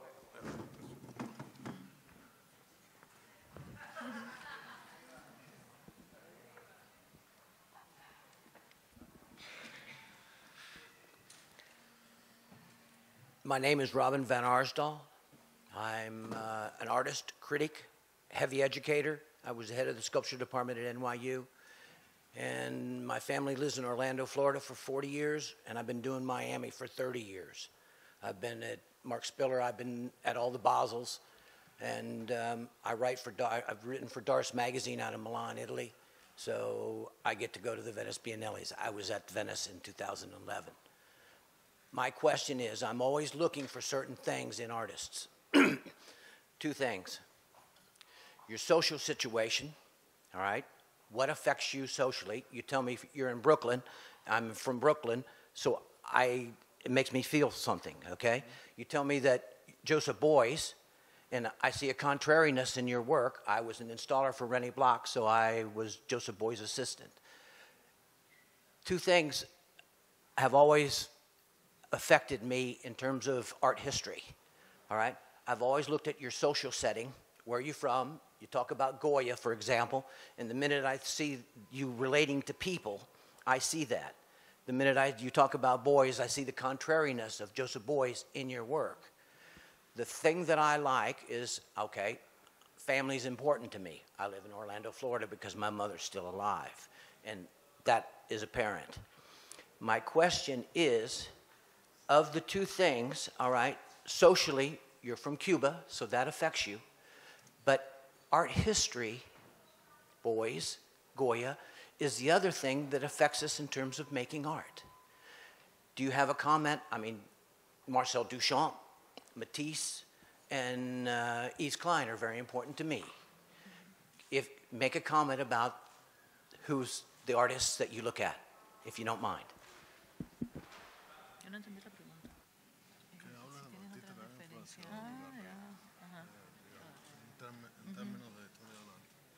Yo, yo. Sí, sí. Well, um, I don't know.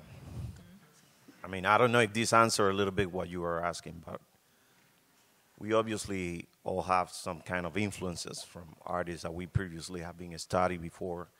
And in my personal case, uh, I dedicate a lot of time, obviously, to study art, and there are influences. I mentioned Joseph Beuys specifically because of his social sculpture that he, he initiated and you know was introduced by Rene Francisco, as I mentioned in the beginning. But there are multiples of uh, uh, you know influences in my work. I mean, I can mention uh, uh Chris Burden, for instance.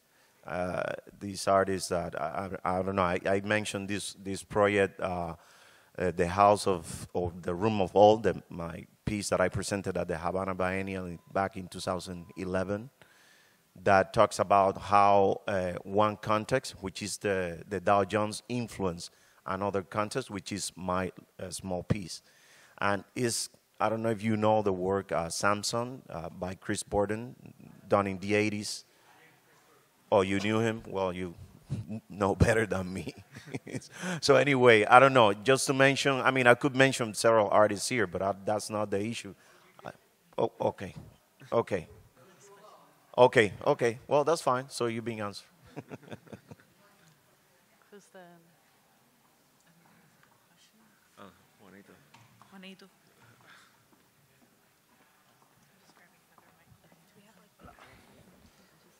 Buenas tardes, Juan Delgado. Gracias, Elizabeth, por esta invitación y creo que, que esta reunión de hoy No, está bueno. Bueno, el que no.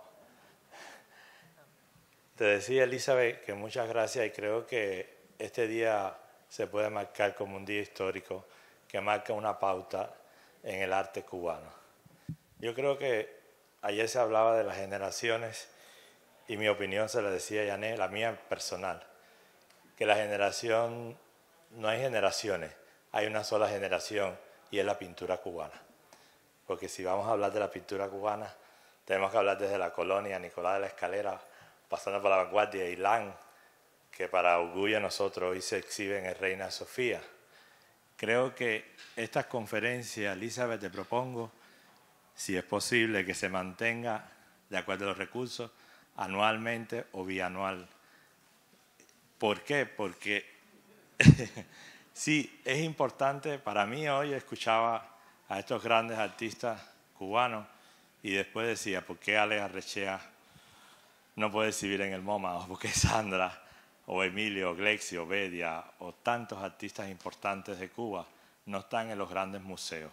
Y entonces sí tenemos que reunirnos para llegar a un consenso, los curadores, los creadores, los artistas y aquellos que soportan el arte cubano, en legitimizar mucho más el arte cubano hace 72 años no hay una exposición de arte cubano en el MoMA. Y contrariamente, la exposición del MoMA, según la historia, en el año 44, no dejaron entrar a los cubanos, que Gatorno no pudo exhibir porque vivía en México.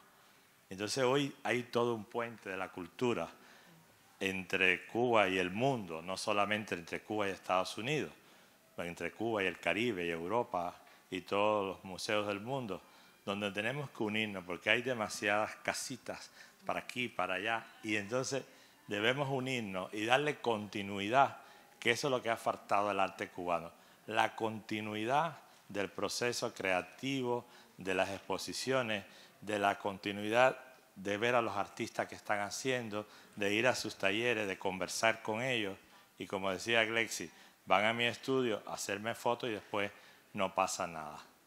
Entonces, creo que estos, estos talleres que se están dando hoy y mañana, donde faltarían grandes artistas y curadores como Mosquera, como Magdalena Campos, como Elvia Rosa, como Magali, que tienen una voz dentro del arte cubano, que en las futuras reuniones nos podamos seguir reuniendo y conversar y dialogar y reflexionar en este momento histórico que vivimos sobre el futuro del arte cubano. ¿Qué va a pasar en el arte cubano en los próximos 20 años? ¿Cómo se va a llegar a los coleccionistas? ¿Cómo los cubanos van a ir a los museos? ¿Cómo van a ir a las grandes exposiciones en los museos? Hoy está Doris Salcedo en el PAN. El PAN abrió con Amelia Peláez, pero vamos a ver si en tres años hay algún artista cubano importante que pueda estar en una exposición personal. En el Guggenheim, Magdalena Campo hizo un performance, pero el Guggenheim estuvo en La Habana, pero no hay una propuesta de arte cubano. Te felicito por este gran puente que tú estás haciendo entre el arte cubano y que se mantenga y que se pueda mantener en La Habana con este mismo diálogo de libertad de expresión de esta manera. Gracias, Alicia.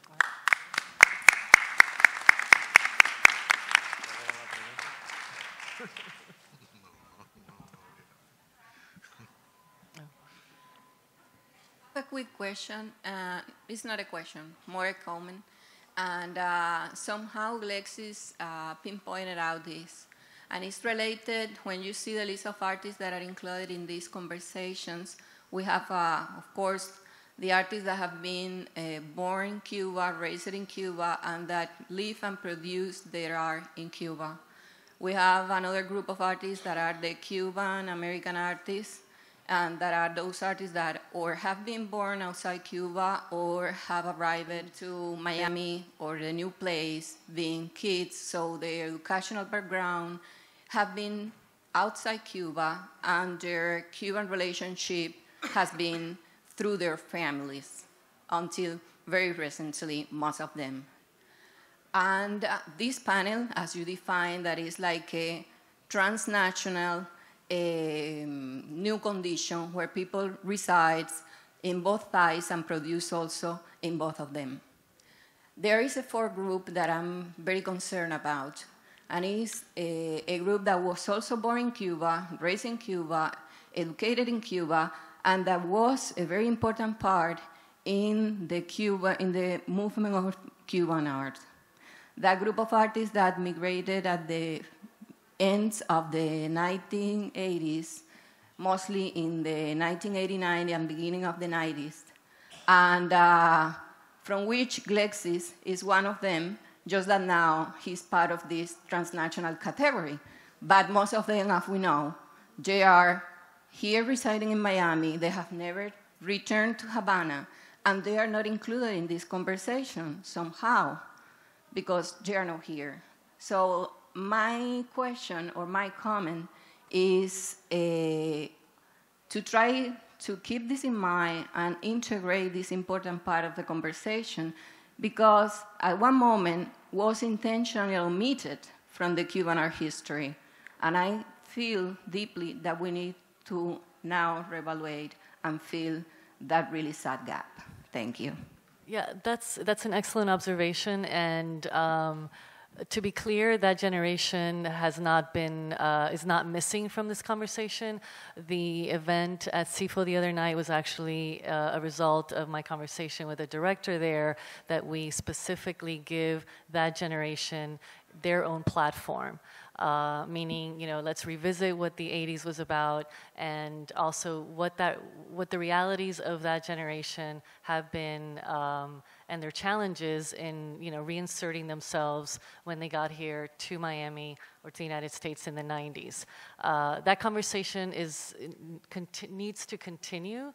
Um, I'm not sure that um, it was um, you know problematized enough at, at, the other night. I don't know if you assisted that that uh, event, but um, it is a generation that is is very much part of of this um, of this conversation, especially because it's a generation that, precisely like I mentioned in my introductory remarks, you know, where do you, how do you define a generation that uh, precisely, you know, was raised and educated and formed artistically in Cuba, has been living here now for over 20 years, but somehow is in this limbo. They're not necessarily, they don't self-identify as Cuban Americans, but they're also not included in the majority of the exhibitions, um, you know, being uh, you know, organized uh, about Cuban art. So uh, there's a, there are other panels where some of those members are included.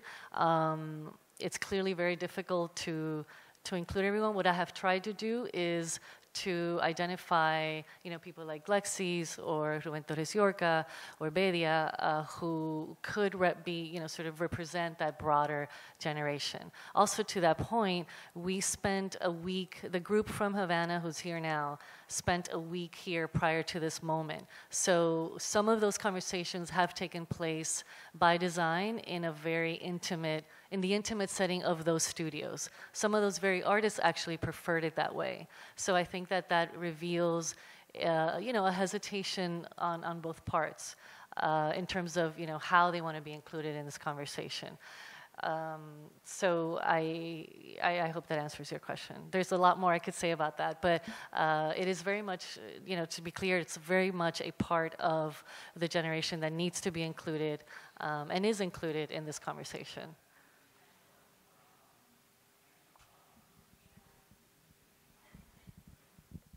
Um, my name is Maggie Hernandez, and I live in Miami. I'm half Cuban, and I'm a collector. And uh, I have an observation and also maybe a question for the panel. Um, my observation is that uh, we were, Cuba was lucky to have Barr have this wonderful show and highlight Cuban artists, and it put Cuba on the map as a country that had an artistic, a great artistic uh, history and, uh, and talent. However, you know, now back to the 21st century, uh, art is a very rapidly um, expanded uh, commodity through the internet and through transglobal exhibitions and museums. I mean, a lot of artists have galleries in New York, Miami, uh, Denmark, uh, Scandinavia, all over Scandinavia, France, uh, and England, so and San Francisco and Hong Kong, etc. Um, I think that young Cuban artists should not just uh, plan to be part of a Cuban artist network. They should be part of the greater artist world and uh, try. I think that Cuba right now is trying to develop this because it brings in tourism. Um, but it really doesn't help a lot of the young artists. A lot of the young artists that live in Miami that are Cuban, Cuban American, or born here of American parents, they really um, feel very Cuban, but they don't want to necessarily be identified as Cuban. They want to be identified as successful artists of the world. Uh, there's several of them that have actually moved out of Miami because there are more opportunities in places like New York, Detroit, or LA. And I think that's a very important point to concentrate on because um, being in vogue, like Cuba is now, things that are in vogue go out of vogue, but a good artist always uh, perdures.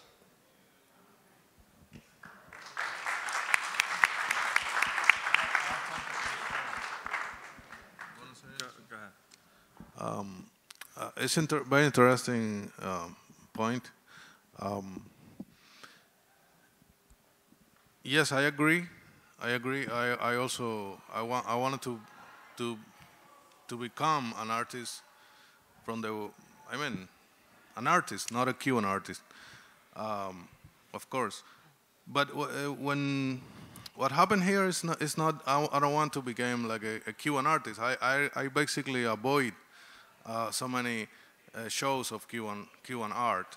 And sometimes people don't, don't like me because I avoid to be in, in, in Cuban art catalogs or Cuban art shows. That the only thing that gather those artists are the origin of being Cuban. Uh, I understand that, but, but what happened is about the culture. The culture, the official, um, pol the politics has been erased, the, the, the work of so many uh, Cuban artists but not only erase from the from the politic political picture, they erase officially from the from the culture. So. Uh, I don't. I mean, the the, uh, the presence of, of Cuba in biennials in the world has been taken by the government since more than five decades ago. Uh, they uh, so that that influence is is very strong and is and affect uh, the culture of, of Cuba, of, of the whole country. I don't think that happened in, in France, in France, when artists from France can live all over the world and they represent their country in biennials and they represent the country in so many places. It's about culture. It's not really about to be categorized. Uh, it's, it's, all the opposite. I think uh, all of us. Um, I mean, I, I, can I can talk about us because I I, I can see. Uh, uh, on, on their work and on their careers, and Sandra's, uh, Rechea or Emilio, uh, they they looking for for a wider uh, art world, and as well as I do. But I, I think it's, it's it's good to to look at the culture like a like a only one broad um, body of, of, of different influences on, on art. Thank you. Wait, no, I'm, can I, I, I, I, sorry. I actually, sorry, I didn't mean to yell into the microphone. I wanted to actually respond specifically to that question. My name is Rosa Lowinger.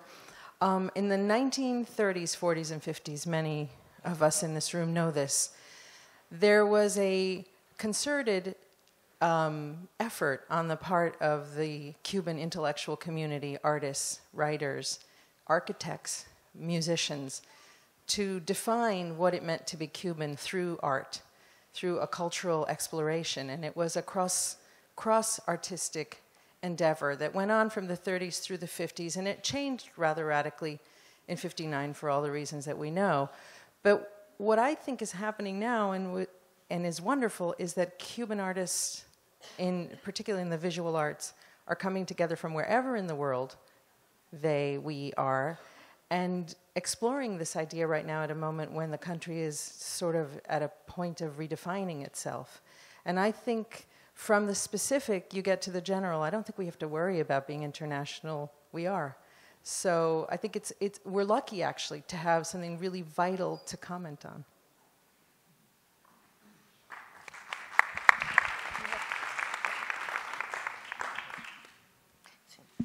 Uh, my name is Lydia Rubio. I'm a Cuban uh, American, I guess, artist. And I have a very practical question to ask uh, of Glexis.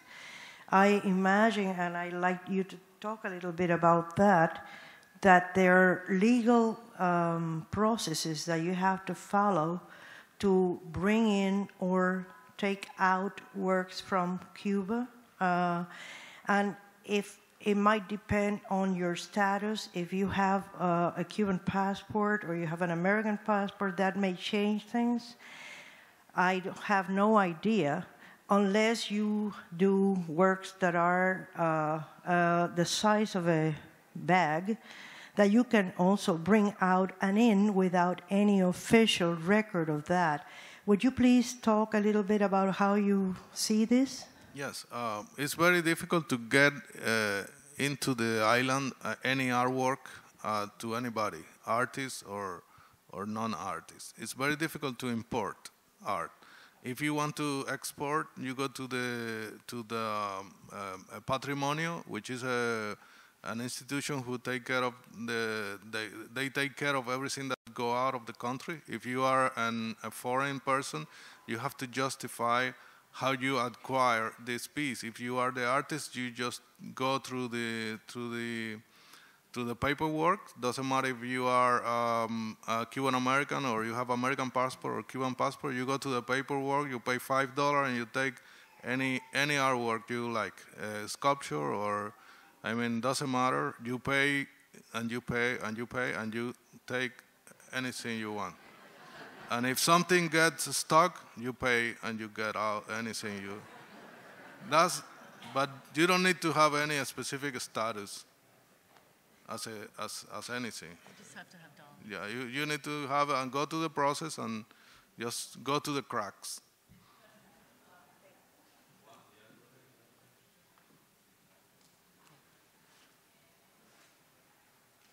Thank you very much. We are going to actually uh, end this session. We'll be back at 2.30, 2.30 for our second panel. Uh, feel free to, uh, let's give everyone a round of applause.